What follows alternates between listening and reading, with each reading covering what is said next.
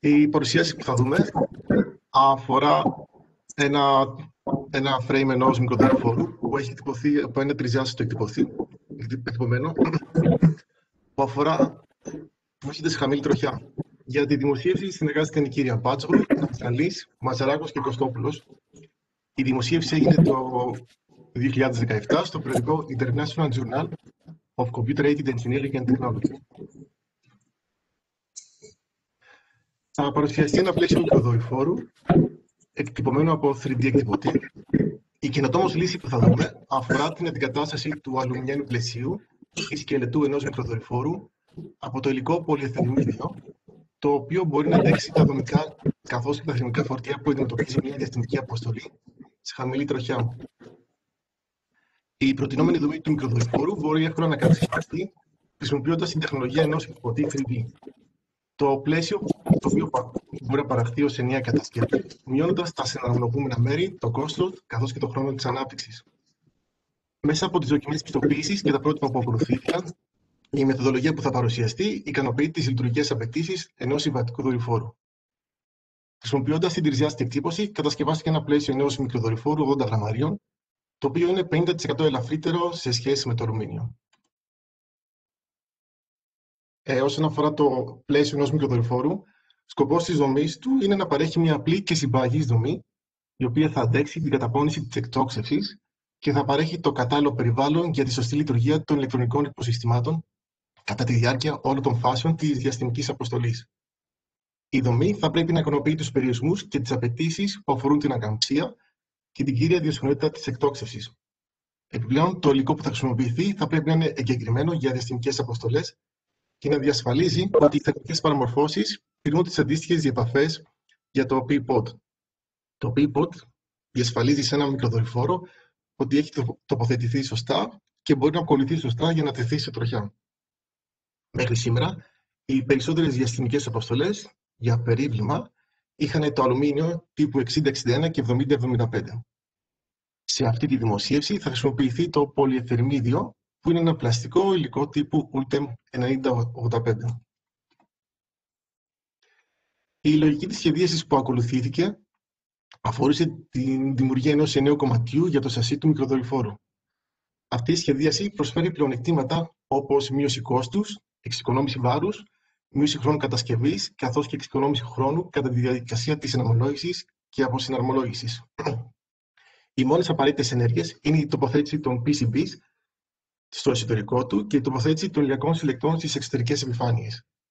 Επιπλέον, το πλαίσιο δεν απαιτεί κανένα μπλόνι για τη συναρμολόγηση των διαφόρων εξαρτημάτων, κάτι το οποίο απαιτείται στην περίπτωση που το πλαίσιο είναι φτιαγμένο από αλουμίνιο.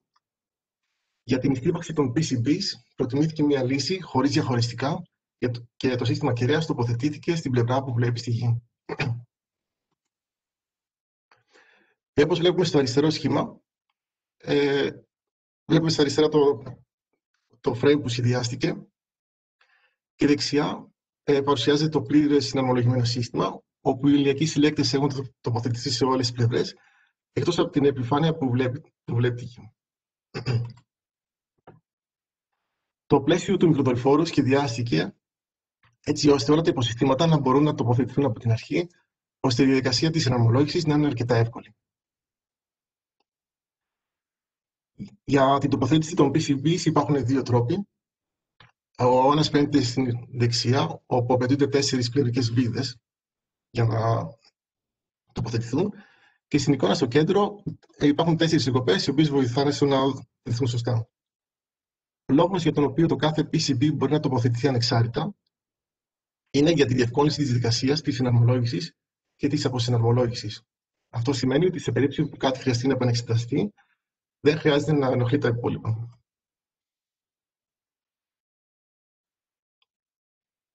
Για την υλοποίηση του τρισδιάστατου του πλαισίου του μικροδορυφόρου, επιλέχθηκε το υλικό πολυεθερμίδιο, το οποίο παρέχει υψηλή αντίσταση στη θερμότητα, υψηλή αντοχή, καθώς και ευρεία χημική αντίσταση. Τηρεί τις απαιτήσεις του ASP 595 για outgassing τις απαιτήσεις ευλεκτότητα καθώς και τις απαιτήσεις του gassing για το αερογόνο. Επίσης, το πολυθερμίδιο είναι ένα θερμοπλαστικό υλικό μοντελοποιημένη αναπόθεσης, fused deposition modeling, ιδανικό για αεροδιαστημικές αποστολές λόγω της βαθμονόμησής του στο στο δίκτυο FST, δηλαδή Fire, Smoke and Toxicity. Το πολυθερμίδιο επιτρέπει σε κάποιον να δουλεύει πάνω του επαναληπτικά, δηλαδή να έχει τον έλεγχο από το πρωτότυπο του εργαστηρίου μέχρι το τελικό προϊόν της παραγωγής, καθώς το υλικό είναι ένα πραγματικό πλαστικό παραγωγής με όλες τις απαραίτητες πιστοποιήσει. Εδώ βλέπουμε μερικές από τις ιδιότητες του υλικού. Στην ανάλυση πεπερασμένων στοιχείων, στο πίνακα αριστερά βλέπουμε το μοντέλο πνεύματος και στη δεξιά φαίνεται η μπροστινή πλευρά του μικροδορυφόρου, όπου έχω, έχει τοποθετηθεί η μπαταρία, η οποία επειδή είναι το βαρύτερο κομμάτι του μικροδορυφόρου, θεωρείται και νέο κομμάτι με το σασί του. Ε, δύο υλικά εξετάστηκαν για τις βιδωτές συνδέσεις. Το FR4, το οποίο είναι συνεχόμενα νήματα από υφασμένα φύλλα γελοβάμακα, συγκολλημένα με υποξιδική ρητίνη, καθώς και ο ανεξόδος χάλιβας. Όσον αφορά τη modal survey, εξετάστηκαν τέσσερα σενάρια, τέσσερις τρόποι κάμψης της ζωμής, στα οποία πάνω τους ασκήθηκαν δέκα διαφορετικές ιδιοσυχνότητες, οι οποίες παράγονται κατά την εκτόξευση. Στη στατική ανάλυση της φόρτωσης χρησιμοποιήθηκαν τρεις μικροδορυφόροι, οι οποίοι συνδέθηκαν μεταξύ τους με το σύστημα PIPOD. Στο πρώτο σενάριο δεξιά τοποθετήθηκαν κάθετα, όπου κατά τη διάρκεια της εκτόξευσης ο δορυφόρος που βρίσκεται στη χαμηλότερη θέση δέχεται τη μεγαλύτερη πίεση και πρέπει να κρατήσει τη δομική του ακεραιότητα, καθώς υποστηρίζει εκτός από το βάρος του και το βάρος των άλλων δύο. Στο δεύτερο σενάριο, οι τρεις μικροδορυφόροι τοποθετήθηκαν οριζόντια. Σε όλα τα σενάρια, η μέγιστη επιτάχυνση είναι ίσης με 7,5 G και το βάρος του κάθε μικροδορυφόρου ίσο με 1 κιλό. Επίσης, πραγματοποιήθηκαν τρεις διαφορετικές αναλύσεις, μία για κάθε σύστημα αναφοράς, ο πίνακας μας δείχνει τις τάσεις βομήση και τις κατανομές μετατόπισης για το δρανειακό φορτίο των 30G στον άξονα του Z. Οι μέγιστες τιμές μετατόπισης ανοιχτεύτηκαν στη μέση των πλευρικών όψεων, ενώ οι μέγιστες εντοπισμένες τάσεις γύρω από τις τρύπες PCBs. Ε, μία από τις πιο σοβαρές καταπονήσεις που επηρεάζουν την ακυρεότητα της ζωμής του μικροδορυφόρου είναι οι τυχαίε ζωνήσει που δημιουργούνται κατά τη διάρκεια της εκτόξευσης του διαστημικού σκάφους. Η ανάλυση έγινε μέσω της παραγωγής στοιχείων δονήσεων με σκοπό τη μέτρηση της αντοχής και της δομικής ακαιρεότητας του δορυφόρου. Ο τυπικός τρόπος για να περιγραφεί η επικινδυνότητα και η πιθανή ζημιά από μια τυχαία δόνηση υπολογίζεται από την εφαρμογή της φασματικής πυκνότητας ισχύω που ο δορυφόρος αντιμετωπίζει κατά τη διάρκεια της εκτόξευσής του. Ο τρόπος αξιολόγησής του είναι ο προσδιορισμός της μέσης τιμής όλων των πλάτων εντός ενός δεδομένου εύρους συχνοτήτων. Για τη θερμική ανάλυση χρησιμοποιήθηκαν τα χαρακτηριστικά της τροχιάς του μικροδορυφόρου από το ευρωπαϊκό πρόγραμμα που τα πήρανε, όπου, όπου βρισκόταν σε υψόμετρο 380 χιλιόμετρα. Η περίοδος του ήταν 90 λεπτά και είχε κεντρικότητα τροχιάς 0,04. Αριστερά βλέπουμε την τροχιά του μικροδορυφόρου γύρω από τη γη. Δεξιά βλέπουμε τη μέση απορρόφηση της ηλιακής ακτινοβολίας σε κάθε πλευρά του. Ε, στα αριστερά βλέπουμε την απορρόφηση της Λευκάβγειας και στο δεξί σχήμα βλέπουμε τη θερμότητα που περιγράφουν τα ηλεκτρονικά συστήματα του μικροδορυφόρου. Συνοπτίζοντα, ένας μικροδορυφόρο κατασκευασμένος από υλικό πολυθερμίδιο από τρισδιάστατο εκτυπωτή παρουσιάστηκε στη δημοσίευση. Η δομή ικανοποίησε πλήρως τις απαιτήσεις της διαχειρουργική αποστολής μέσα από την ανάλυση που έγινε. Όλα τα στρες και τα αποτελέσματα μετατοπίσεων για αναλύσεις στατικής και τυχαίας δόνηση ήταν εντός των επιτρεπόμενων ορίων.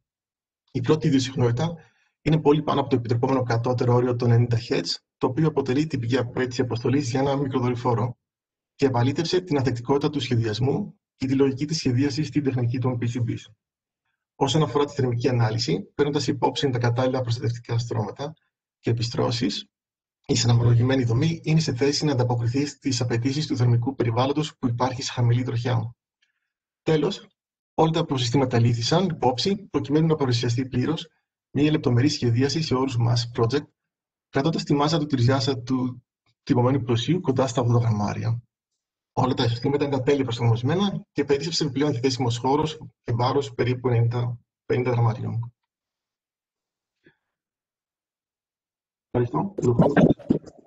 Ωραία, ευχαριστούμε πάρα πολύ Στέργιο για την παρουσίασή σου, ήταν πάρα πολύ καλή πριν της παρουσίασης. Λοιπόν, ο λυγισμός είναι γενικά γιατί σαν uh, backlink είναι μια γενική έννοια, δεν αναφέρεται μόνο στο κομμάτι το οποίο θα, που θα δείξω σε αυτές τις παρουσιάσεις, σε αυτές τις διαφάνειες, γιατί εδώ θα, δω, θα δούμε τον καμπτικό λυγισμό. Υπάρχει και ο στρεπτικός λυγισμός και υπάρχουν και άλλες μορφές λυγισμού. Ο λυγισμός όμως είναι το φαινόμενο στο οποίο ε, μία ράβδος, ένα σώμα γενικά φτάνει σε μία κατάσταση ασταθούς ισορροπίας. Αυτό είναι γενικά ο λυγισμός. Ο καμπτικός λυγισμός αναφέρεται συνήθως σε ελαστικές ράβδους που έχουν μεγάλο μήκος, ε, οι οποίες επιβάλλονται σε κεντρική θλίψη, δηλαδή συμπιέζονται και ε, φτάνει σε ένα σημείο ασταθούς ισορροπίας συγκεκριμένη ράβδος.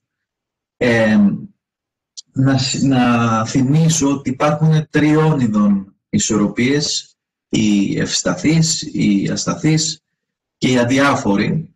Να σκεφτείτε, η ευσταθής ισορροπία είναι το κλασικό παράδειγμα που λέγαμε ότι είναι μία μπάλα σε ε, ένα ε, σε ένα βάζο και όταν τη μετακινώ επανέρχεται στην κατώτερη θέση. Αυτή είναι μια κατάσταση ευσταθούς ισορροπίας. Αν όμως είχα αναποδογυρίσει το βάζο και έβαλα την σφαίρα πάνω στην κορυφή του βάζου, μπορεί να, να στεκόταν σε μια ισορροπία, αλλά αν υπάρχει μια έστω και μικρή διαταραχή, ε, τότε ε, αυτή η μπάλα θα φύγει από τη συγκεκριμένη θέση. Είναι πολύ εύκολο λοιπόν να φύγει από την κατάσταση ισορροπίας, γι' αυτό και ονομάζεται και ασταθής. Ε, αυτό ακριβώς είναι η κατάσταση στην οποία ε, βρίσκεται μία δομή, μία κατασκευή, όταν βρίσκεται σε κατάσταση λυγισμού. Ε, όταν λέμε ότι υπάρχει μία διαταραχή, δεν σημαίνει ότι η διαταραχή θα έρθει δεν και καλά, δεν ε, θα έρθει άμα δεν υπάρχει διαταραχή εγγενώς μπορεί να υπάρχει διαταραχή, διότι έστω και το ίδιο το υλικό έχει κάποιες μικροατέλειες, δηλαδή δεν υπάρχει ε, ή και η επιβολή των φορτίων δεν είναι απόλυτα, να το πω, έγκεντρη, άρα είτε από την ίδια τη φύση του υλικού, που ξεφεύγει δηλαδή ακόμα και σε επίπεδο μικρο, μικροδομής σε μη ομοιόμορφη κατάσταση, είτε λόγω μιας πραγματικής διαταραχής στον άλλον άξονα, είτε λόγω ε, της μη εγκεντρότητας του φορτίου. Αυτή η διαταραχή πάντα υπάρχει, άρα όταν φτάσουμε στην κατάσταση ασταθούς ισορροπίας, περιμένουμε να επέλθει και ο λυγισμός. Ποιο είναι το πρόβλημα; Το πρόβλημα είναι το εξής. Αν έχω την ράβδο, την οποία εγώ την εφελκύω, ε, αυτή η ράβδος έρχεται σε μια ε, κατάσταση τεντώνεται, τεντώνεται, τεντώνεται και κάποια στιγμή σπάει. Η δύναμη στην οποία υπολογίζουμε ότι σπάει και η αντίστοιχη τάση έχει ένα μέγεθος που είναι αρκετά μεγάλο. Όταν θλίβω όμως μια ράβδο, τυπικά αν το έβλεπα μόνο σαν υλικό, κάποιος θα έλεγε ότι εγώ περιμένω κάποια, κάποια στιγμή να έρθει σε μια πλαστική κατάσταση δηλαδή να έχει παίρνει μόνιμε παραμορφώσει και κάποια στιγμή να έρθει η θράψη, αντίστοιχα όπως συμβαίνει και στον αφελγισμό. Η ίδια όμως η γεωμετρία ε, μιας δομής μπορεί να μας δώσει το φαινόμενο του λυγισμού και ουσιαστικά να έχω την κατάσταση της ασταθούς ισορροπίας σε μια δύναμη πολύ πολύ μικρότερη σε σχέση από την οποία ε, στο πείραμα το εφελγισμό πάει η ράβδος. Άρα είναι μια κατάσταση, μια αστοχία η οποία ανάλογα την περίπτωση μπορεί να επέλθει πολύ πιο πριν από την ε, διαρροή του υλικού ή την φράυση του υλικού. Γι' αυτό και ανάλογα την περίπτωση πρέπει να μελετάτε και το φαινόμενο του λυγισμού, η αστοχία του λυγισμού. Ε, στο λυγισμό παίζουν ρόλο το ίδιο το υλικό. Προφανώς όσο πιο ε, σκληρό είναι το υλικό, ε, τόσο πιο μεγάλο το μέτρο ελαστικότητας, τόσο πιο δύσκολο να λυγίσει. Παίζει ρόλο η γεωμετρία της ίδιας της διατομής. Όπως είδαμε στην κάμψη, ε, είδαμε ας το πούμε τη ροπή αδράνειας που είναι ένα γεωμετρικό χαρακτηριστικό, έτσι και θα δούμε και εδώ η ίδια, το ίδιο γεωμετρικό χαρακτηριστικό θα παίζει ρόλο όσο μεγαλύτερη επιφάνεια έχω ή να το πω όσο μεγαλύτερη ροπή αδράνειας έχω στην διατομή τόσο πιο δύσκολο είναι ξανά να έρθει ο λυγισμός και επίσης ο τρόπος με τον οποίο στηρίζεται μία ράβδος παίζει και αυτή το ρόλο της όσον αφορά ε, για το αν θα λυγίσει ή δεν θα λυγίσει. οπότε, ε, αυτό το οποίο κάποιος όταν πάει να μελετήσει μια κατασκευή η οποία ε, δέχεται θλιπτικά φορτία και τέλος πάντων θέλει να κάνει μια εκτίμηση για το αν αντέχει ή δεν αντέχει, αν έχω ράβδους που δέχονται θλιπτικά φορτία, θλιπτική φόρτιση, τότε αναγκαστικά πρέπει να μελετήσω και το λυγισμό, ούτως ώστε να βγάλω συμπέρασμα αν το φορτίο που θα δεχτεί ε, η ράβδος είναι μικρότερο από το κρίσιμο, όπως λέγεται, φορτίο λυγισμού, που είναι η αντίστοιχη δύναμη ή η αντίστοιχη τάση στην οποία επέρχεται το φαινόμενο του λυγισμού. Τι συμβαίνει στον λυγισμό; Στο λυγισμό υπάρχει το εξής περίεργο φαινόμενο. Ενώ θλίβω την ράβδο, αυτό που θα ανέμενε κάποιος σε ένα θλιπτικό φορτίο και σε μια ίσια ράβδο, θα ήταν απλά να συμπιέζεται, να μικραίνει δηλαδή το μήκος της και αντίστοιχα να μεγαλώνει το πάχος της. Όταν έχω μια αξιομική φόρτιση και βάζω αντίστοιχη δύναμη, περιμένω όλα λοιπόν τα σημεία να μετακινηθούν προς την κατεύθυνση της φόρτισης. Το, το περίεργο σε αυτό το φαινόμενο είναι ότι ενώ βάζω λοιπόν θλιπτικό φορτίο, αυτό το οποίο δημιουργείται είναι μια μετατόπιση και στον οριζόντιο άξονα και όχι μόνο στον άξονα Χ όπως είναι εδώ ο κατακόρυφος. Άρα έχουμε μετατόπιση σημείων και στον ε, οριζόντιο, ενώ περίμενα λόγω της εφαρμογής της δύναμης είπαμε να κινούνται όλα τα σημεία πάνω στον άξονα Χ. Ε, αυτή η μετατόπιση, γενικότερα και αυτή η μορφή την οποία βλέπω σε μια κολόνα, είναι μια κατάσταση που θα την έβλεπα και στην κάμψη. Γι' αυτό και λέγεται και καμπτικός λυγισμός ο συγκεκριμένος. Και για να μπορέσουμε να βρούμε ε, τελικά ποια είναι η τιμή του κρίσιμου φορτίου στο οποίο περιέρχεται ο λογισμός με αναλυτικές μεθόδους, την πρώτη δουλειά την έκανε ο Όιλερ πάνω σε αυτό και υπολόγισε την, το κρίσιμο φορτίο ε, επιλύοντας και κάνοντας ε, τις υποθέσεις τους στην εξίσωση της ελαστικής γραμμής. Η εξίσωση της ελαστικής γραμμής είναι αυτή. Είναι το ε, μέτρο ελαστικότητας στο ε, το Ι είναι η ροπή αδράνειας, το U είναι η μετατόπιση στον α, εδώ οριζόντιο άξονα, άρα είναι να το πω η βήθηση στην α, κάμψη, είναι το βέλος κάμψης ε, και το Χ προφανώς είναι η θέση που βρισκόμαστε πάνω στη ράβδο και το μη είναι η αντίστοιχη ροπή, γιατί αν δείτε ε, αυτή είναι, γιατί είπαμε όταν έχουμε κάμψη, η κάμψη είναι αποτέλεσμα της ροπής, μιας καμπτικής ροπής. Οπότε τι είπε ο Όιλερ, ότι αν έχω στο λυγισμό αυτή την κατάσταση, όπου έχω κάμψη, ε, αυτή προέρχεται από μια ροπή M. Λόγω του ότι έχει το φορτίο όπως έχει μετατοπιστεί πλέον λόγω της παραμόρφωσης η δύναμη σε σχέση με τον ε, κεντρικό άξονα της ε, ράβδου, υπάρχει ένα U, οπότε το P επί U μου δημιουργεί μια ροπή και αυτή την αντικαταστεί μέσα στην εξίσωση της ελαστικής γραμμής. Οπότε φτιάχνει μια διαφορική εξίσωση που έχει αυτά τα χαρακτηριστικά και η λύση της ε, ομογενούς αυτής της διαφορικής εξίσωσης στο δεύτερο βαθμό είναι αυτή όπως ξέρουμε από τα μαθηματικά.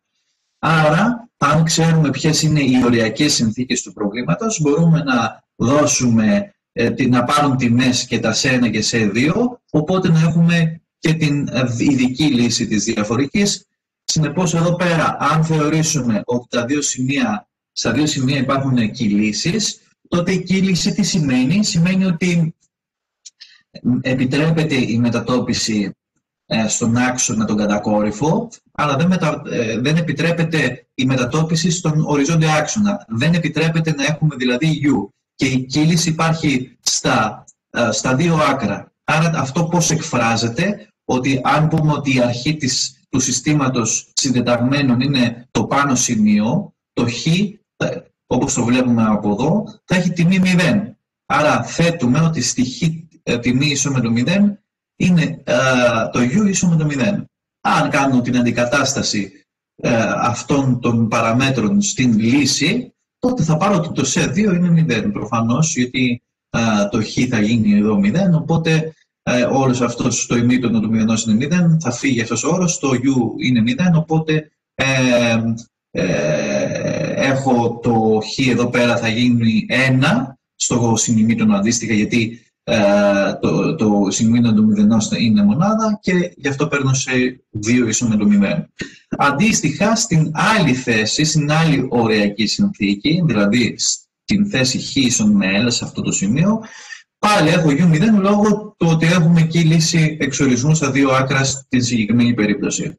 Οπότε, σε αυτήν την ε, περίπτωση, εφόσον έχει φύγει από τη λύση μου ε, ο, ο δεύτερος όρος, ε, ανάποδα τα είπα, έτσι, τέλος πάντων, ε, ε, ε, έχει φύγει ο δεύτερος όρος, γιατί στην ε, θέση, γιατί είπαμε ότι το σε 2 είναι, είναι ίσον με το 0.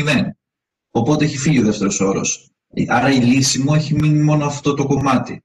Άρα όταν θα πάρω και την τιμή χ ίσον με L, σε αυτόν τον όρο έχω το u ίσο με το 0, οπότε έχω αυτή την έκφραση και εδώ τη λέμε ότι ή το σε 1 θα είναι 0 επί το ημίτονο ή το ε, ημίτονο θα είναι 0. Προφανώς αν το σε 1 με, ίσο με το 0 μας δίνει την trivial λύση ότι το u είναι το 0, όταν έχω 0 έχω 0. Άρα αυτή την απορρίπτουμε, τη λύση δεν μας ενδιαφέρει. Άρα όταν το ημίτονο γίνεται ίσο με το 0, Πότε το ημίτονο γίνεται ίσο με το 0, ε, το ημίτονο γίνεται 0 για κάθε, όπου, όπου, για κάθε π. Ε, οπότε, η λύση του n ίσον με 0 δεν μας ενδιαφέρει, γιατί πάλι ε, θα μας δώσει π ίσον με το 0, το ξέρουμε αυτό. η γενική λύση, αν λύσουμε ως προς π είναι αυτή, το n μπορεί να είναι 1, 2 ή 3. Η χαμηλότερη τιμή του n θα μας δώσει και το κρίσιμο φορτίο, γιατί θα μας δώσει την χαμηλότερη δύναμη στην οποία συμβαίνει το φαινόμενο του λυγισμού. Άρα, από αυτόν τον τύπο βλέπετε ότι αποδεικνύεται μαθηματικά ε, ότι το κρίσιμο φορτίο μπορεί να υπολογιστεί από αυτόν τον τύπο για την περίπτωση που έχουμε μια ράβδο που έχει στα άκρα της κυλήσης. Ε,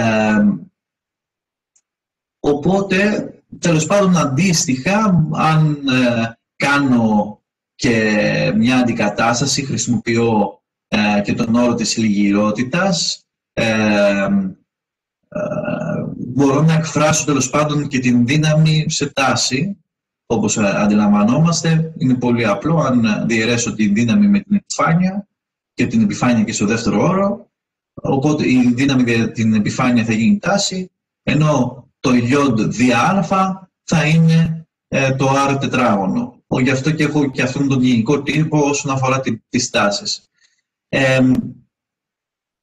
γενικά αυτό το οποίο ισχύει όταν κάποιος κάνει μια μελέτη λυγισμού και ξέρει ποιο είναι το φλιπτικό φορτίο που θα λάβει μία ράβδος, είναι να ξεκαθαρίσει ποιες είναι οι οριακές συνθήκες.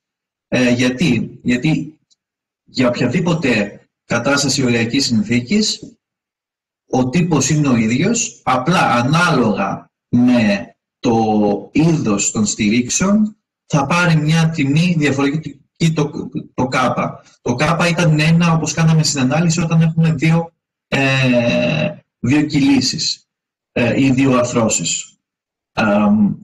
όταν είναι το, έχουμε την περίπτωση που το ένα άκρο είναι πακτωμένο. Πάκτωση σημαίνει ότι δεν επιτρέπεται ούτε η μετατόπιση, αλλά ούτε και η περιστροφή. Ενώ στην άρθρωση, όπως βλέπετε, επιτρέπεται η περιστροφή. Δεν, δεν επιτρέπεται ε, η, η, η μετατόπιση του σημείου, αλλά επιτρέπεται η περιστροφή του σημείου. Αυτή είναι η διαφορά τους. Στην πάκτωση λοιπόν έχουμε ένα ενεργό μήκος το οποίο είναι διπλάσιο. Έχουμε δηλαδή την ίδια μορφή. Αν δείτε εδώ αυτό το μισό ημίτονο που δημιουργείται, ε, είναι το μισό ημίτονο θα το πάρω σε δύο μήκη. Γι' αυτό και το κάπα είναι δύο στην περίπτωση όπου το ένα είναι πάκτωση και το άλλο είναι ελεύθερο άκρο. Ενώ αν έχω δύο πακτώσεις ε, που δεν επιτρέπεται, βλέπετε, η περιστροφή ούτε στο ένα σημείο ούτε στο άλλο, γι' αυτό ξεκινάει η ράβδος χωρίς να στρέφεται, μετά στρέφεται. Παρατηρείτε ότι αυτό το μισό ημίτον το παίρνω στο μισό μήκος, γι' αυτό και το κάπα είναι 0,5 όταν έχω αυτές τις ωριακές συνθήκες, ενώ αν έχω μία πάκτωση και μία άρθρωση, έχω μία ενδιάμεση κατάσταση και γι' αυτό παίρνω το 0,7 σαν κάπα. Τώρα, αυτό το οποίο συμβαίνει... Πριν συνεχιστεί, έγινε ένας συμφιλητής μας. Ε, Α, ναι.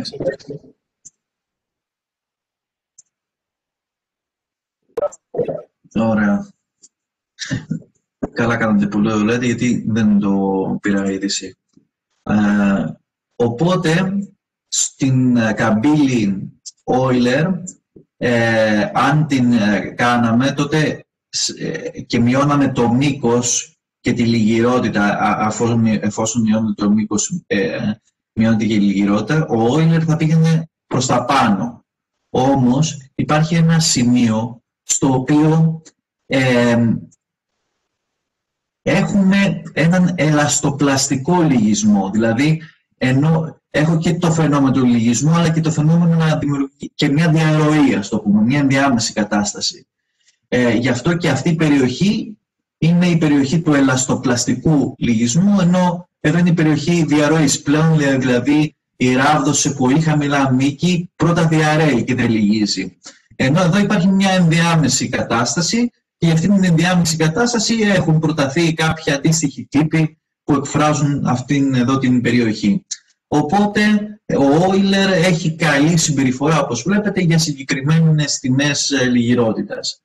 Οπότε αυτό είναι όσον αφορά το λυγισμό, γιατί πολλοί όταν ακούνε λυγισμό θεωρούν ότι είναι μια καταπώνηση όπως είναι οι τέσσερις βασικές καταπονήσεις, δηλαδή η ε, αξονική φόρτιση, η στρέψη, η κάμψη και η στρέψη. Άρα μπερδεύουν την κάμψη με τον λυγισμό.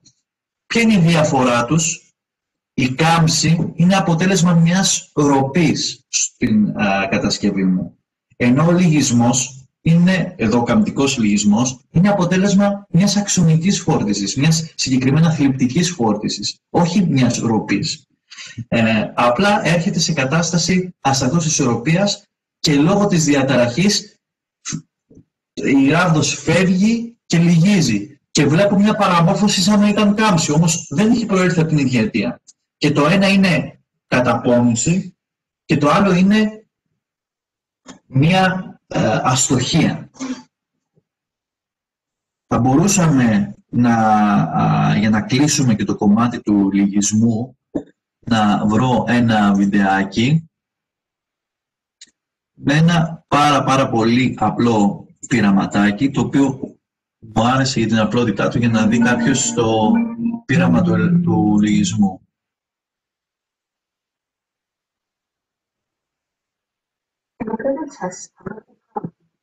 Μπορεί κάποιος λοιπόν να μελετήσει το λυγισμό φτιάχνοντας μια πολύ απλή ιδιοσυσκευή, όπως είναι αυτή που φαίνεται εδώ.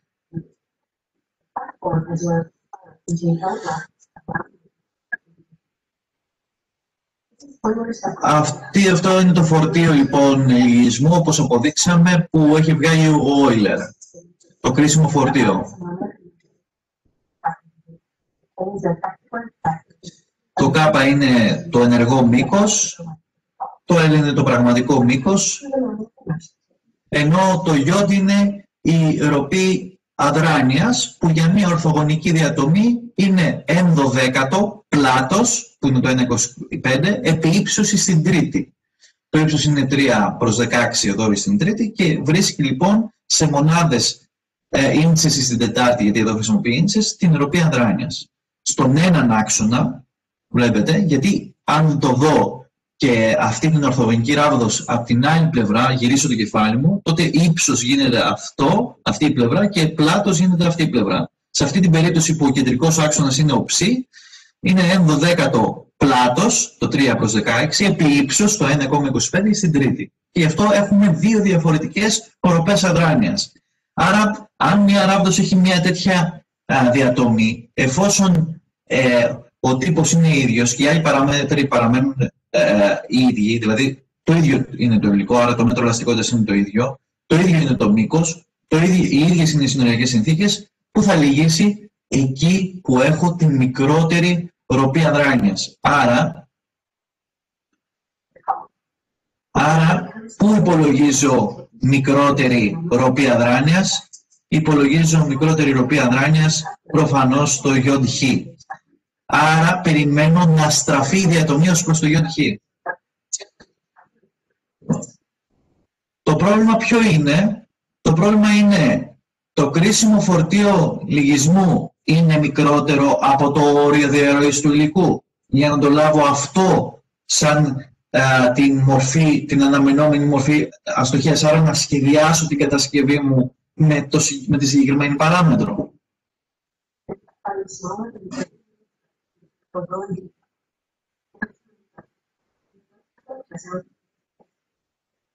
Εδώ λοιπόν με αυτόν τον τρόπο έχει πάκτωση και πάκτωση στις δύο και λέει ότι αν κάνω τους υπολογισμούς, επειδή έχω το μέτρο ελαστικότητας του υλικού του συγκεκριμένου, υπολογίσαμε ποια είναι η οποία δράνειας και εδώ έχει βάλει την μικρότερη. Ε, έχω βάλει το κάπ επειδή είναι fixed, fixed, πάκτωση, πάκτωση 0,5. Έχω το length το οποίο είναι 10 inches, οπότε υπολογίζει, λέει, ε, αυτή τη τιμή του κρίσιμου φορτίου. Και ε, μπορώ να υπολογίσω και ποιο είναι, ποια είναι η αντίστοιχη τάση. Αν διαιρέσω την δύναμη με το εμβαδόν της διατομής, προφανώς υπολογίζω στην τάση η οποία είναι μικρότερη από το όριο, ας το πούμε, διαρροής του συγκεκριμένου υλικού. Τώρα περιμένουμε να λυγίσει με λίγα λόγια συγκεκριμένη υπό, την, υπό ένα θλιπτικό φορτίο.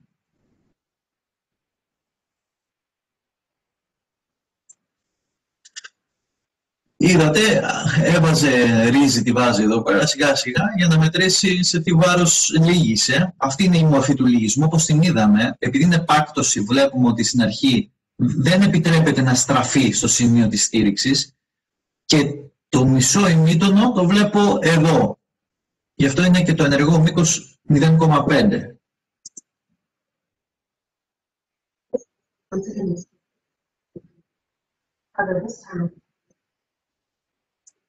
έκανε το ίδιο, ε, μεγάλωσε το μήκος ε, του ε, συγκεκριμένου δοκιμίου για να κάνει το ίδιο τεστ και υπολόγισε ξανά ποια είναι η τάση στην οποία έχουμε λυγισμό, που είναι μικρότερη από τη διαρροή, άρα περιμένω λυγισμό και έχω και το αντίστοιχο φορτίο λυγισμού.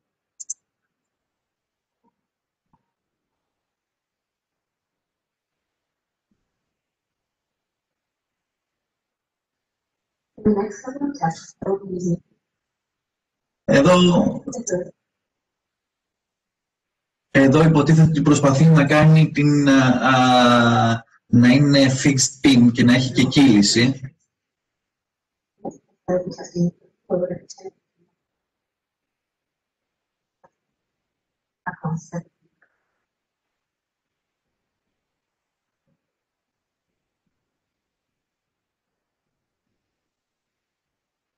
This is the last test.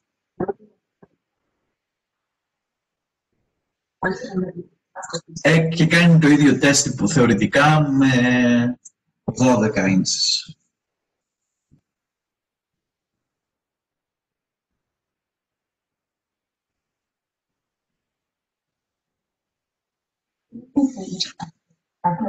Λοιπόν, έχει κάνει λάθος εδώ στο πείραμα Γι' αυτό και βρίσκει ένα πολύ μεγάλο σφάλμα ε, στην περίπτωση του fixed pin. Το pin που έχει βάλει είναι για την άλλη κατεύθυνση. Αν παρατηρήσουμε δηλαδή ε, το, ε, το, ε, το, εδώ παραμένει ανεπάκτωση σε αυτήν την κατεύθυνση. Αν, αν δω την άλλη πλευρά, τότε είναι πιν, γιατί λόγω του ότι έχει βάλει μόνο ένα, ε, έχει περάσει μόνο σε μια τρύπα, τέλος πάντων, το συγκεκριμένο, μπορεί στην άλλη κατεύθυνση, δηλαδή προς τα εμάς θα μπορούσε να έρθει η ράβδος προς το βάθος, προς την οθόνη, προς το βάθος της οθόνης. Άρα παραμένει ανεπάκτωση. Άρα είναι, εδώ έχει κάνει ένα λάθος. Δεν είναι, είναι πάκτωση-πάκτωση ουσιαστικά ξανά. Απλά είναι λίγο πιο χαλαρή πάκτωση ε, σε σχέση με, το, με την αρχική κατάσταση. Α,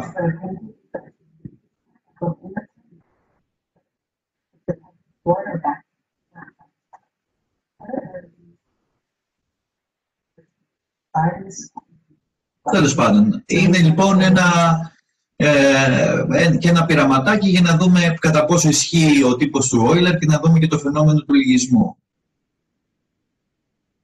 Η στην οποία έρχεται αυτό το φαινόμενο είναι πολύ μικρότερη από τη διαρροή. Άρα μία ράβδος η οποία θλίβεται, το συμπέρασμά μας είναι ότι πρέπει να μελετηθεί και σε λυγισμό γιατί μπορεί το, το φορτίο να είναι μικρότερο από το αντίστοιχο φορτίο που ισχύει η διαρροή. Αυτά είναι τα συμπεράσματα λοιπόν και από αυτό το βίντεο. Και τώρα να ανοίξω μια άλλη διαφάνεια. Θέλετε να κάνουμε ένα διάλειμμα; Ναι, καλύτερα. Ωραία. Θα, κάνω ένα μικρό δια... θα κάνουμε ένα πεντάλεπτο, δεκάλεπτο, ένα δεκάλεπτο διάλειμμα μέχρι 6 και 35 και θα συνεχίσουμε.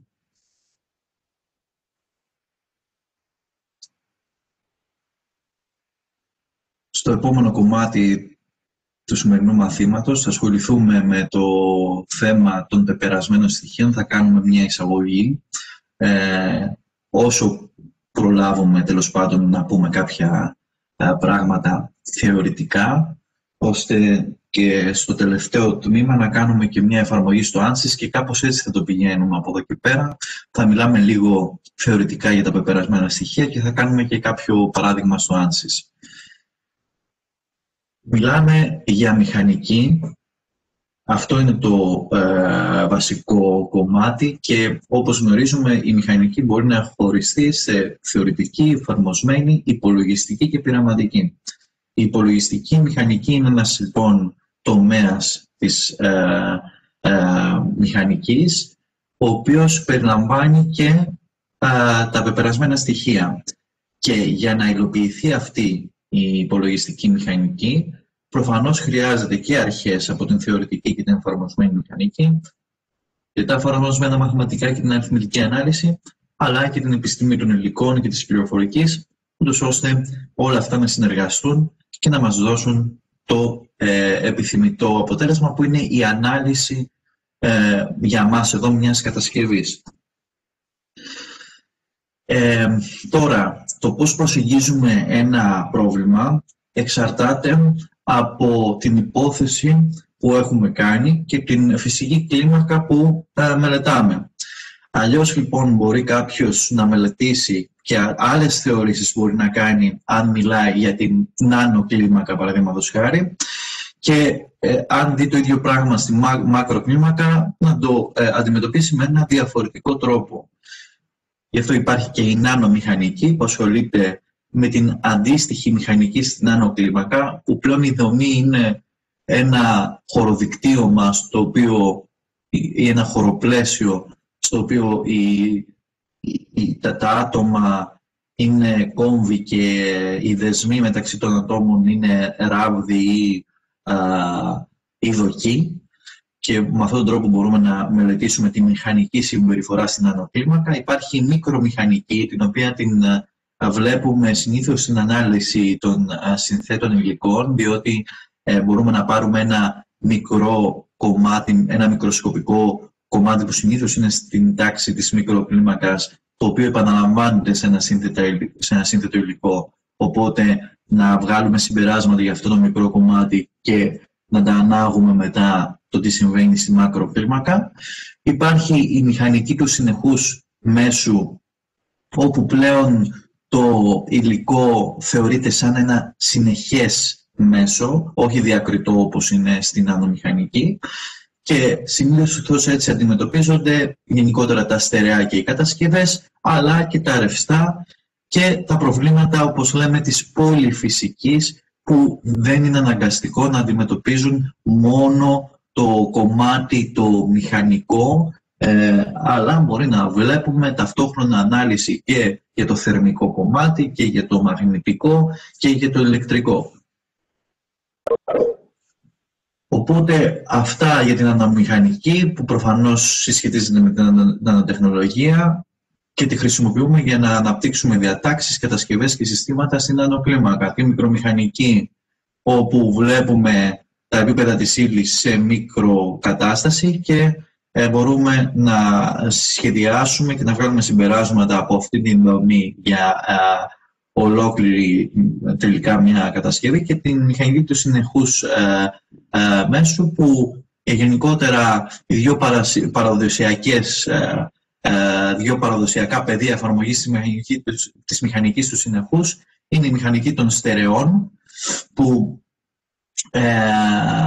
αυτό ε, υπάρχει μέσα της και η αντοχή υλικών και η μηχανική των ρευστών, η οποία αντίστοιχα είναι η μελέτη των ρευστών. Τώρα, η μηχανική του συνεχούς μπορεί να χωριστεί σε δύο ε, βασικά ε, σε δύο βασικές κατηγορίες, τη στατική ανάλυση και την δυναμική ανάλυση. Ποια είναι η διαφορά της στατικής με τη δυναμική; Είναι ότι στη στατική ανάλυση ε, όλες οι παράμετροι δεν μεταβάλλονται με το χρόνο. Ενώ στη δυναμική ανάλυση ε, οι βασικοί παράμετροι μεταβάλλονται σε σχέση με το χρόνο. Ε, στη στατική ανάλυση έχουμε και αυτό το οποίο λέγεται ε, σχεδόν στατική, αυτό το οποίο είδατε και στο paper quasi-static, ε, η οποία μπορεί σαν φαινόμενο να μεταβάλλεται με το χρόνο, αλλά οι παράμετροι είναι σταθεροί. Ε, δηλαδή, μπορεί να έχουμε μία επίδραση του χρόνου, αλλά αυτό δεν μας επηρεάζει τις, τις παραμέτρους, θεωρητικά να το πω. Ε, οπότε, έχουμε αν πάμε τώρα στη στατική ανάλυση, έχουμε το γραμμικό πρόβλημα και το μη γραμμικό πρόβλημα σαν κατηγοριοποιήσεις. Και αν πάμε τώρα στα διάφορα αυτά προβλήματα, πώς μπορούμε να τα, υπο, να τα προσεγγίσουμε υπολογιστικά, υπάρχουν διαφορετικές ε, μέθοδοι υπολογιστικές. Η, η κυρίαρχη υπολογιστική μέθοδος για την χωρική διακριτοποίηση μιας ε, δομής και την επίλυση των αντίστοιχων διαφορικών εξισώσεων ε, είναι η μέθοδος των πεπερασμένων στοιχείων. Ε, υπάρχει και η μέθοδος των συνοριακών στοιχείων, όπου είναι μια αντίστοιχα υπολογιστική μέθοδος η οποία διακριτοποιεί το σύνολο του προβλήματος, ενώ με απλά λόγια αντιμετωπίζει με αναλυτικές μεθόδους το ε, τον, τον υπόλοιπο όγκο ε, ενός προβλήματος. Άρα με αυτόν τον τρόπο μπορεί να μειώσει αρκετά τον, το υπολογιστικό χρόνο επίλυσης του ενός προβλήματος. Υπάρχει η μέθοδος των πεπερασμένων διαφορών και των πεπερασμένων όγκων που συνήθως ε, βρίσκουν περισσότερο ε, πιο αποδοτική εφαρμογή σε προβλήματα της μηχανικής των ρευστών. Υπάρχουν και ε, οι φασματικές μέθοδοι ε, καθώς και άλλες μέθοδοι ε, υπολογιστικές όπως είναι η μέσφαιρη που ε, δεν χρησιμοποιεί πλέγμα.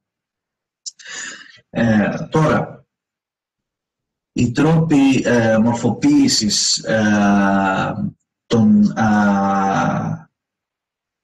των χαρακτηριστικών του υπολογιστικού μοντέλου, των πεπερασμένων στοιχείων όπως θα δούμε, μπορεί να προκύψει με συνδυασμό είτε με, άμεσα από τη μηχανική των υλικών.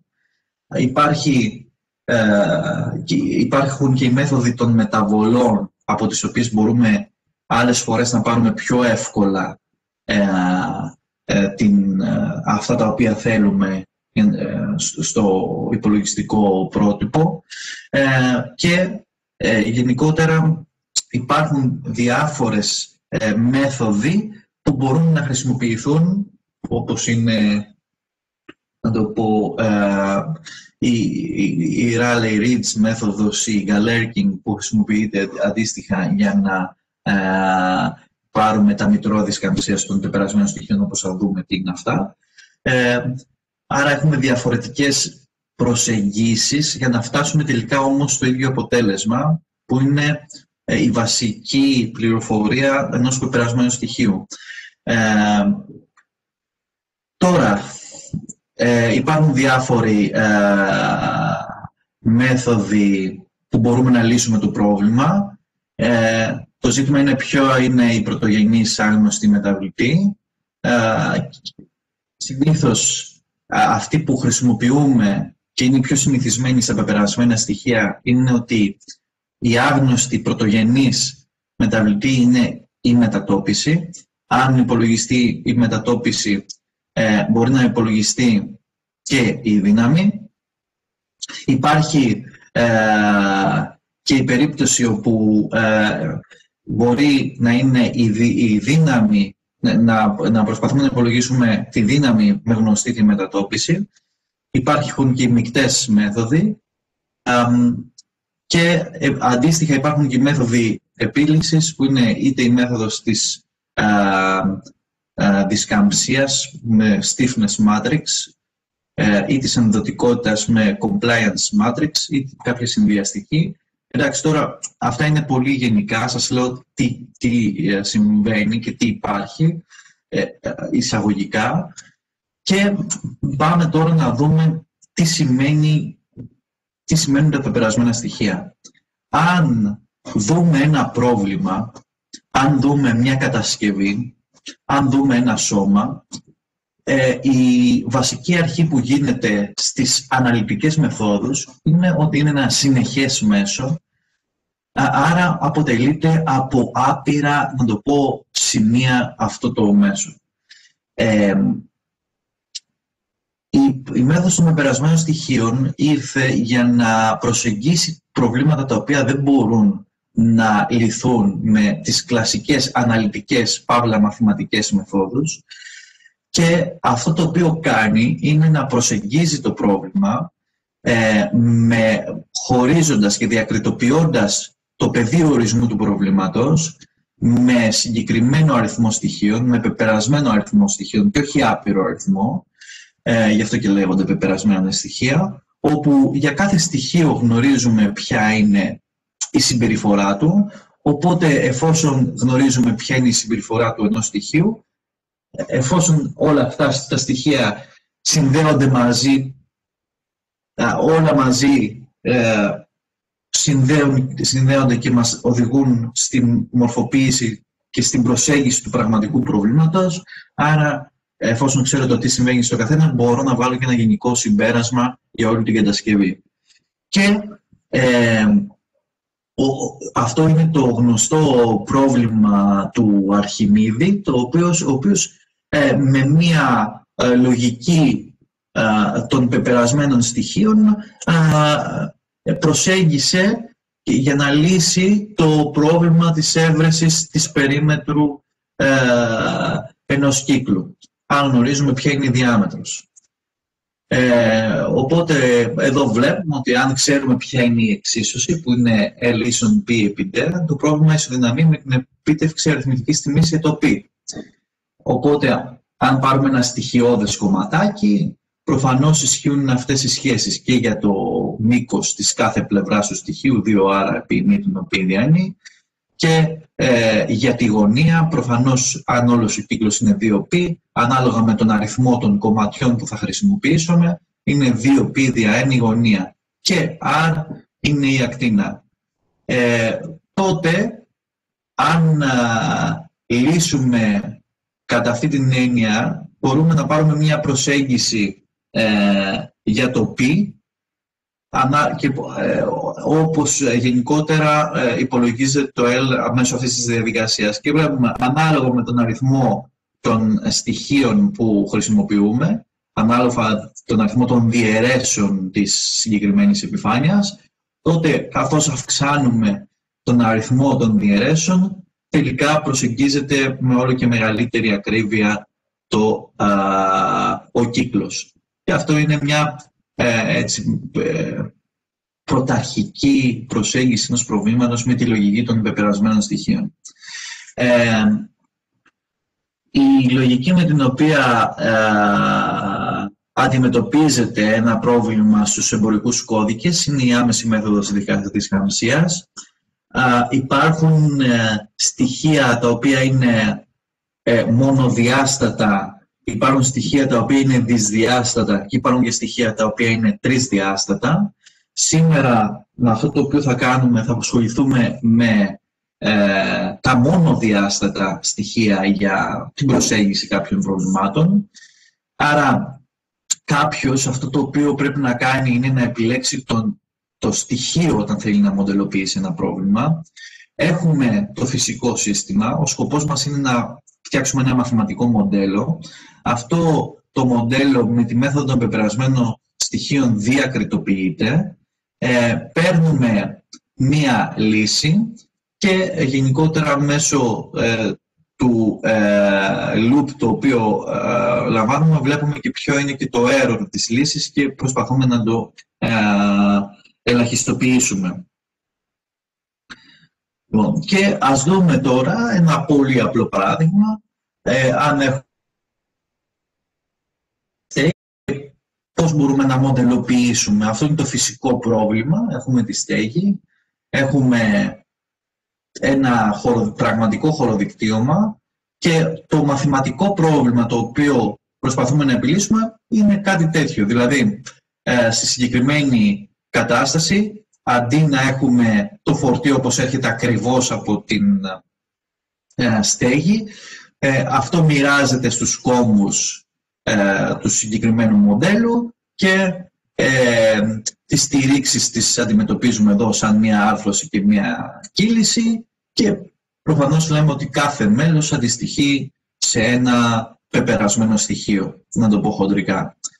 Ε, οπότε, αν αυτό είναι το, το πρόβλημα το οποίο ε, ιδεατά θέλουμε να λύσουμε με πεπερασμένα στοιχεία, αν αφαιρέσουμε τις οριακές συνθήκες, τα boundary conditions όπως λέγονται, που είναι τα φορτία και, τα, ε, και οι στηρίξεις, αυτά τελικά είναι ε, τα πεπερασμένα στοιχεία, τα οποία είναι στοιχεία που έχουν κόμβους και το κάθε στοιχείο έχει κόμβους. Οπότε έχουμε ε, για κάθε στοιχείο δύο κόμβους για το συγκεκριμένο πρόβλημα. Άρα το στοιχείο το οποίο μπορεί να μας μοντελοποιήσει το συγκεκριμένο πρόβλημα μπορεί να είναι ένα είδος στοιχείο το οποίο έχει συγκεκριμένες ιδιότητες που προσωμιάζουν τη συμπεριφορά του, της δοκού ή του μέλους του δικτυώματος γενικά ε, και με τη χρήση ενός ε, στοιχείου μπορούμε να κάνουμε την κατάλληλη γεωμετρική αποτύπωση. Άρα να πάρουμε τις συντεταγμένες των κόμβων, τη συνδεσιμότητα των κόμβων και να ε, φτιάξουμε το μαθηματικό μοντέλο, να φτιάξουμε τελικά μία εξίσωση που είναι της μορφής ε, κάπα επί χ ίσον με f, είναι δηλαδή σαν το ε, ε, ελαττήριο, την εξίσωση του ελαττηρίου του νόμου του Χουκ, όπου το κάπα, που πλέον αυτές, αυτοί οι όροι δεν είναι όμως τιμές όπως είναι στο ελαττήριο, αλλά είναι μητρώα, είναι πίνακες. Ε, όπου αυτοί οι πίνακες περιέχουν όλο το πρόβλημα και η επίλυση αυτού του συστήματος των εξισώσεων μπορεί να μας δώσει τη λύση και η πρωτογενής λύση που παίρνουμε είναι οι μετατοπίσεις. Υπολογίζοντας οι μετατοπίσεις μπορούμε μετά να υπολογίσουμε όλες τις δυνάμεις και μπορούμε να υπολογίσουμε τάσεις και οτιδήποτε άλλο που είναι δευτερογενής δευτερογενές αποτέλεσμα. Το, το πρωτογενές είναι η μετατόπιση γιατί λύνεται αυτή η μητρολογική εξίσωση.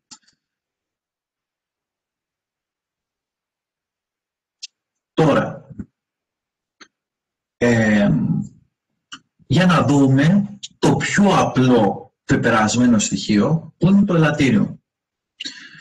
Ε, ένα ελαττήριο το γνωρίζουμε ούτως ή άλλως, ότι ε, έχει μια συμπεριφορά της, του νόμου του Χουκ. Δύναμη ίσον δισκαμψία επιμετατόπιση.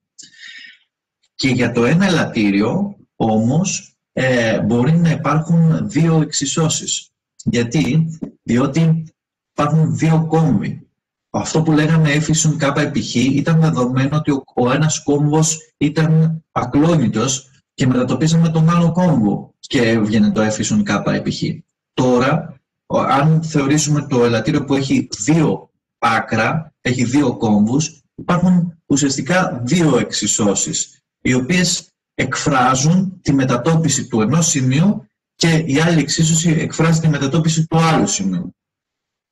Άρα, για κάθε περίπτωση και πώς μπορώ να βρω την εξίσωση του καθενός, αν κάνω μία τομή και σπάσω όπως δείχνει εδώ ε, το σχήμα, το ελαττήριο σε δύο τμήματα, έχω την ισορροπία στον ένα κόμβο, που ποια είναι η ισορροπία, AF είναι η εσωτερική δύναμη του ελαττηρίου, ε, το R1Χ είναι η εξωτερική δύναμη που επιβάλλεται στο ένα άκρο του ελαττηρίου, οπότε η εσωτερική δύναμη με την εξωτερική δύναμη πρέπει να ισορροπούν.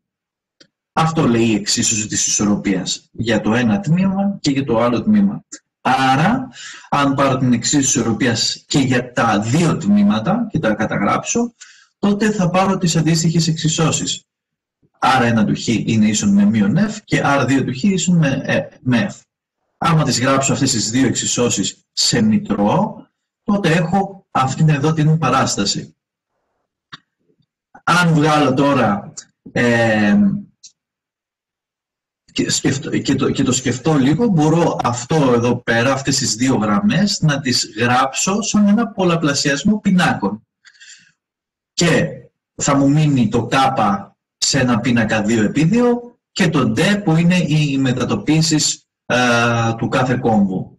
Αν κάνουμε τις πράξεις και το σκεφτείτε είναι K επί D1 του Χ, να το, γιατί μείον, το μείον γίνεται συν, K επί D1 του Χ, και ο, ο δεύτερος όρος είναι το μείον KD2Χ. Να το μείον K επί 2DH. Και για τη δεύτερη γραμμή, αν κάνω τον πολλαπλασιασμό, θα βγει αυτή η δεύτερη σειρά.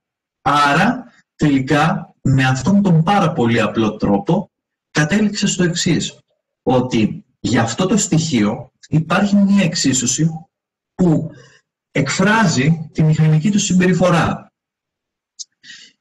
Η εξίσωση είναι γενικά της μορφής δύναμη ίσον μητρό δισκαμψίας, δισκαμψία επιμετατόπιση, όπως είναι ο νόμος του Χουκ, μόνο που αυτά είναι μητρό. Και αυτό είναι το διάνυσμα των δυνάμεων. Αυτό λέγεται μητρό δισκαμψίας, το κάπα, και το άλλο είναι το διάνυσμα των μετατοπίσεων. Άρα το μητρό δισκαμψίας για αυτό το στοιχείο είναι το κάπα. Αυτό το οποίο κάνουμε στα πεπερασμένα στοιχεία, και αν κάποιος ανοίξει την θεωρία των πεπερασμένων στοιχείων, θα δει ότι για τα διάφορα στοιχεία τα οποία έχουν προταθεί, ο σκοπός είναι να βρεθεί ποιο είναι το μητρό δισκαμψίας του στοιχείου. Αν έχουμε βρει το μητρό δισκαμψίας του στοιχείου, έχουμε χαρακτηρίσει το στοιχείο και μπορούμε να το χρησιμοποιήσουμε με τη μέθοδο των πεπερασμένων στοιχείων. Είναι λοιπόν το βασικό, ε, η βασική γνώση που πρέπει να έχει κάποιος όταν θέλει να κάνει μια ανάλυση με πεπερασμένα στοιχεία. Και αυτό χρησιμοποιεί η μέθοδος για να επιλύσει ένα σύστημα με το συγκεκριμένο στοιχείο.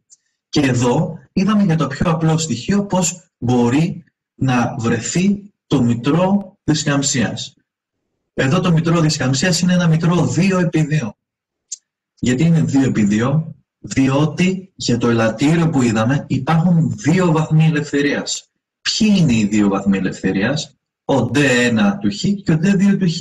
Είναι η μετατόπιση, η μοναδική μετατόπιση που μπορεί να πάρει το ελαττήριο, η οποία είναι για το συγκεκριμένο πρόβλημα μόνο στον άξονα Χ. Άρα έχουμε ένα βαθμό ελευθερίας που είναι η μετατόπιση του ενός κόμβου και άλλον ένα βαθμό ελευθερίας που είναι η μετατόπιση του άλλου κόμβου.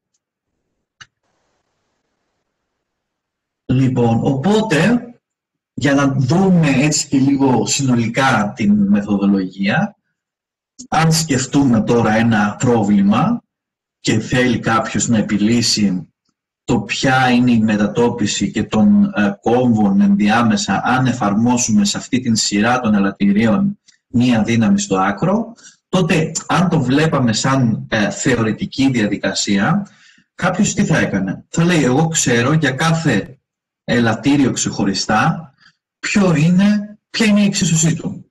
Η εξίσωση λοιπόν του πρώτου στοιχείου που αποτελείται από τον κόμβο 1 και από τον κόμβο 2 είναι αυτή είναι εδώ, αυτή η μητρική εξίσωση. Για κάθε στοιχείο είναι η ίδια εξίσωση. Τι διαφέρει μόνο; Ποιοι κόμβοι σχετίζονται με την ε, εξίσωση του κάθε ελαττηρίου. Στον πρώτο είναι ο πρώτος και ο δεύτερος κόμβος, στο δεύτερο είναι ο δεύτερος και ο τρίτος κόμβος, να το δεύτερος και τρίτος, και στο τρίτο ελαττήριο είναι ο τρίτος και τέταρτος κόμβος.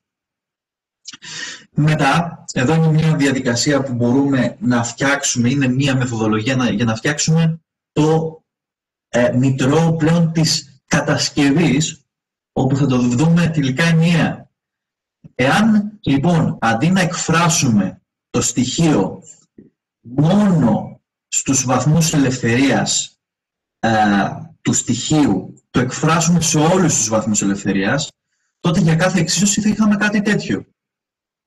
Γιατί για το πρώτο στοιχείο είναι ότι γράψαμε το k1 μείον k1 μείον k1 μείον k1 k1 με τους αντίστοιχους δύο βαθμούς ελευθερίας. Εδώ έχουμε βάλει λοιπόν όλους τους βαθμούς ελευθερίας της κατασκευής. Οπότε το μητρό των μετατοπίσεων περιλαμβάνει όλες τις μετατοπίσεις. Προφανώς όμως και το πρώτο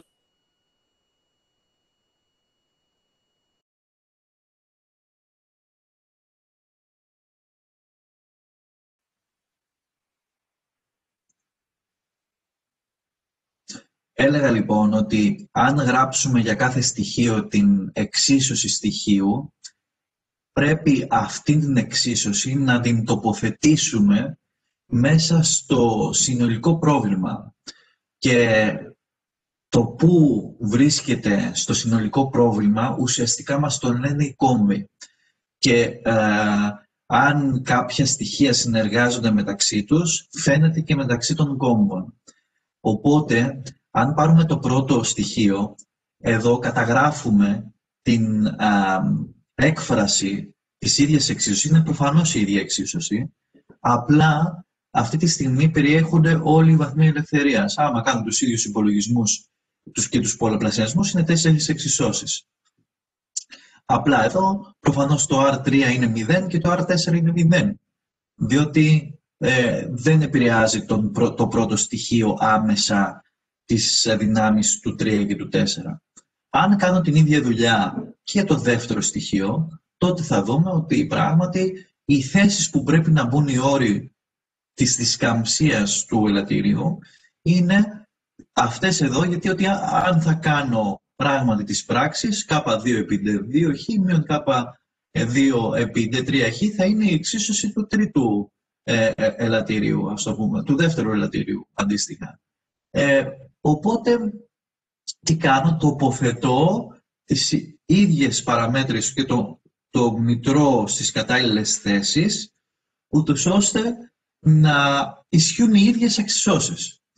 Όμως, ποιο είναι το πλέον έκτημα κάνοντας αυτή τη δουλειά τώρα εδώ, είναι ότι ε, μπορώ αυτές τις εξισώσεις να, να αθροίσω τα πάντα και με αποτέλεσμα να έχω την συναρμολόγηση του συνολικού μητρώου δισκαμψίας της κατασκευής και τελικά να πρέπει να λύσω ένα, πρόγραμμα, ένα πρόβλημα της ε, φύσης F ίσον K επί Χ και για όλο το πρόβλημα. Όμως τώρα αυτό το οποίο δεν έχουμε λάβει υπόψη, γιατί αυτή, αυτό το πρόβλημα δεν έχει ουσιαστικά λύση, λύση θα αποκτήσει αν βάλουμε τις οριακές συνθήκες, όπως στη, διαφορική εξίσωση να πάρει ειδική λύση, βάλαμε ε, τις οριακές συνθήκες για να πάρουμε τη λύση. Ποιες είναι οι οριακές συνθήκες σε αυτό το πρόβλημα; Σε αυτό το πρόβλημα είναι ότι ο κόμβος 1 ε, δεν μετατοπίζεται. Άρα το D1 του Χ πρέπει να είναι 0. Μία συνθήκη είναι αυτή. Ε, η άλλη συνθήκη είναι ότι ε, για, να, για να δούμε όσον αφορά τα φόρτια έχουμε ένα φορτίο στον κόμβο 4. Άρα το R4 του Χ είναι ίσον με n, όσο δηλαδή η δύναμη που εφαρμόζεται. Ενώ οι δυνάμεις στους άλλους κόμβους είναι προφανώς 0, γιατί δεν έχουμε κάποιο φορτίο. Οπότε, αν κάνουμε και αυτές, ε, να το πω, τις αντικαταστάσεις, τότε λαμβάνουμε, ε, ε, λαμβάνουμε το εξής. Υπάρχει αυτή η τεχνική που παρουσιάζεται σε αυτές τις διαφάνειες, δεν είναι η τεχνική με την οποία προγραμματίζεται η μέθοδος των πεπερασμένων στοιχείων, αλλά είναι μια τεχνική που κάποιος μπορεί να τη χρησιμοποιήσει για να τη λύσει και με το χέρι και, ε, και προφανώς υπολογιστικά θα μπορούσε να την κάνει αυτή τη τεχνική. Ε, άρα εδώ απλά φτιάχνει ένα αντίστοιχο μητρό με τις οριακές συνθήκες, όπου βάζει άσους στις θέσεις που έχουμε την αντίστοιχη συνθήκη. Δηλαδή, ο πρώτος άσος αφορά την ε, μετατόπιση, το D1 του Χ, ενώ οι τρεις τελευταίοι άσοι αφορούν τις δυνάμεις, το 0, το 0 και το 1. Άρα, αν τα τοποθετήσουμε και φτιάξουμε ένα συνολικό μητρό, μπορεί πλέον αυτό το σύστημα να επιληθεί. Αυτό είναι το concept. Άρα, αν δούμε και εδώ αντίστοιχα ένα παράδειγμα, θα το δείξω γρήγορα. Ε, έχουμε λοιπόν αυτή τη φορά τρία ελαττήρια, τα δύο είναι παράλληλα και έχουμε και ένα ελαττήριο το οποίο είναι μόνο του. Γνωρίζουμε ποια είναι η δισκαμψία του ελαττήριου και ότι εφαρμόζεται στον κόμβο 2, εδώ δηλαδή στα δύο ελαττήρια ή, ή στο ένα ελαττήριο, το element 1, μία δύναμη F, η οποία είναι 5.000 νιούτων. Ε, αν κάνουμε την ίδια λογική, θα χωρίσουμε το πρόβλημα σε τρία στοιχεία, στοιχεία στοιχείο 1, στοιχείο 2, στοιχείο 3. Έχουμε τον κόμβο 1, τον κόμβο 2 και τον κόμβο 3 και τον κόμβο 4. Αν δούμε λοιπόν ε, ποια είναι η εξίσωση για κάθε στοιχείο, είναι η ίδια παντού, μόνο που πρέπει να λάβουμε υπόψη μας τους κόμβους. Προφανώς για το δεύτερο στοιχείο συσχετίζεται ο κόμβος 2 και ο κόμβος 3. Και για το τρίτο στοιχείο ο κόμβος 2 και ο κόμβος 4. 2 λοιπόν και 4 και 2 και 3. Ε, αν τώρα θέλουμε να γράψουμε τις εξισώσεις σε όλους τους βαθμούς ελευθερίας, κάνουμε ακριβώς την ίδια δουλειά. Μόνο που προφανώς το k μείον κ, είναι το ίδιο, μπαίνει σε αυτές τις θέσεις. Για το δεύτερο που είναι μεταξύ του 2 και του 3 μπαίνει σε αυτές τις θέσεις. Ενώ για, τον, α, για το τρίτο element που σχετίζεται με το κόμβο 2 και 4 πρέπει να μπει στις θέσεις για να σχετίζεται με το 2 και το 4. Γι' αυτό μπαίνει το k μείον k μείον k, k εδώ. Αν κάνω, σκεφτείτε τον πολλαπλασιασμό, είναι k επί d2χ, μείον k επί d2χ, μείον k επί, α, ε, μείον k επί d4χ, συγγνώμη, και μείον k d2χ και k επί 4χ. Ό,τι δηλαδή έχει το element 3. Άρα πρέπει να τοποθετήσω στις σωστές θέσεις βάσει την αρρύθμιση, το, της αρρύθμισης των κόμβων. Άρα, εφόσον έχω εκφράσει τα τρία στοιχεία ε, και έχω βρει τα μητρό στο συνολικό βαθμό ελευθερία, ε, ελευθερίας του προβλήματος, τότε μπορώ να κάνω την άφρηση, οπότε παίρνω αυτό που είναι το μητρό της χαμσίας της κατασκευής. Τώρα, μπορώ να γράψω τις αντίστοιχες εξισώσεις και αυτά τα οποία κάναμε σε μητροϊκή μορφή για να μπορέσει να λυθεί το σύστημα. Αυτό λέει, λένε αυτές οι διαφάνειες. Δηλαδή, έχουμε ποιες είναι οι συνοριακές συνθήκες. Ε, D1 του Χ είναι 0, ναι, γιατί έχω μία πάκτωση, εδώ μία δέσμευση, δηλαδή αυτού του βαθμού ελευθερίας να μην μπορεί να μετατοπιστεί. Και έχω και αντίστοιχα μια ακλόνητη στήριξη στο 3 και στο 4. Άρα το D3 και το D4Χ είναι 0. Ε, μπορώ να εκφράσω αυτές ε, τις ε, ε, εξισώσεις. Ναι, αν τις βάλω ότι το 1 να αντιστοιχεί με το 1, ε, το, το 2 προσοχή με το D3, γιατί γίνεται μια προσπάθεια, ο τρόπος για να επιληθεί πιο εύκολο το σύστημα είναι, ότι μαζεύουμε τους άσους όσο πιο ψηλά γίνεται, για να έχω μηδενικά στο τέλος. Ενώ αντίστροφα, εκεί που έχω τις δυνάμεις, τους άσους τους βάζω από κάτω προς τα πάνω. Οπότε εδώ που η δύναμη είναι στο δεύτερο κόμβο, η σειρά που περιλαμβάνει τη δύναμη μπαίνει τελευταία, ενώ με προτεραιότητα βάζουμε στις μετατοπίσεις πάνω. Αυτή είναι απλά μια τεχνητή για να λυθεί πιο εύκολο το σύστημα. Άρα, αν κάνουμε αυτό που λέει αυτή εδώ η συγκεκριμένη διαδικασία, γράψουμε δηλαδή σε μια περιοχή α, το μητρό δισκαμψίας της κατασκευής. Στην άλλη περιοχή γράψουμε το μείον μοναδικό πίνακα, μοναδιαίο πίνακα. Ε, μετά τοποθετήσουμε εδώ τους άσους όπως προήρθαν από τις συνοριακές συνθήκες ε, των δεσμεύσεων και εδώ τους άσους που αφορούν τις ε, οριακές συνθήκες των δυνάμεων, τότε έχω ένα τελικό μητρό, το οποίο αν επιληθεί θα πάρω τη λύση την πρωτογενή, που είναι με αυτή την τεχνική πρωτογενή λύση είναι ταυτόχρονα και οι μετατοπίσεις και οι δυνάμεις. Ε, οπότε ε, παίρνω την επίλυση, προφανώς τη λύση ο κόμβος 1, ο κόμβος 3 και ο κόμβος 4 έχουν 0 μετατόπιση ενώ ο κόμβος 2 μετατοπίζεται κατά 0,041. Ενώ οι α, δυνάμεις έχουν ως εξής. Στο R1 έχουμε μία δύναμη αυτή εδώ, η οποία ουσιαστικά είναι μια αντίδραση στη στήριξη.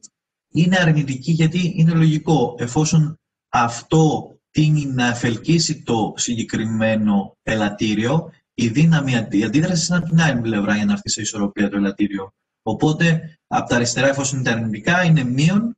Και αν σκεφτούμε, εφόσον η συνολική δύναμη είναι 5.000, οι αντιδράσεις οι εξωτερικές ισορροπούν την εξωτερική δύναμη, που είναι η F, γι' αυτό και βγάζουμε ότι είναι μείον 1666,67, διότι είναι διατρία ε, και έχουμε τρία ελαττήρια τα οποία έχουν την ίδια δισκαμψία. Άρα είναι λογικό το αποτέλεσμα και μπορεί κάποιος να βρει και για κάθε ελαττήριο ποια είναι η εσωτερική δύναμη, απλά κάνοντας τις, τους υπολογισμούς με βάση αυτά τα δεδομένα που έχω. Αν, εφόσον ξέρω ποια είναι τα κάπα και ξέρω και ποια είναι τα D από τη λύση, μπορώ να βρω τις α, δυνάμεις που αντιστοιχούν σε κάθε ελαττήριο. Άρα μπορώ να βρω τη δύναμη, την εσωτερική δύναμη κάθε ελαττήριο με αυτόν τον τρόπο. Πού είναι, αυτε, πού είναι αυτές εδώ οι δυνάμεις; Ε, οπότε, αυτά ήθελα να σας πω για να πάρετε μία εικόνα πρώτη όσον αφορά ε, το τι σημαίνει πεπερασμένα στοιχεία στον τρόπο να το πω μοντελοποίησης ενός προβλήματος, το πώς και τι ρόλο παίζει το κάθε στοιχείο και ότι το κάθε στοιχείο θα τοποθετηθεί σε ένα τελικό μητρό δισκαμψίας, το οποίο θα μορφοποιήσει την εξίσωση του προβλήματος, που είναι μία εξίσωση μητροϊκή F ίσον κάπα Πάντα αυτό λύνεται στα πεπερασμένα στοιχεία. Πάντα. Είτε το στοιχείο είναι μονοδιάστατο ελαττήριο όπως βλέπουμε εδώ, είτε είναι ένα τετράεδρο ή ένα γενικότερα brick element τρισδιάστατο που έχει πολλούς βαθμούς ελευθερίας κλπ. Αλλά το κάθε στοιχείο έχει ένα δικό του μητρό δισκαμψίας, έχει μια δικιά του εξίσωση στοιχείου. Αυτή την εξίσωση στοιχείου τη συναρμολογούμε στην τελική εξίσωση, βάζοντας το κάθε στοιχείο στη σωστή θέση και φτιάχνουμε μετά από αυτή την συναρμολόγηση μια τελική εξίσωση. Και το σύστημα, αυτή η εξίσωση ε, με μια τεχνική ε, επίλυσης ε, ε, εξισώσεων, Gauss elimination, μπορεί να βρεθεί και να πάρουμε τα αποτελέσματα. Αυτή είναι η λογική που χρησιμοποιείται στα πεπερασμένα στοιχεία και τη βλέπουμε εδώ στο, σαν παράδειγμα ε, στο ελαττήριο.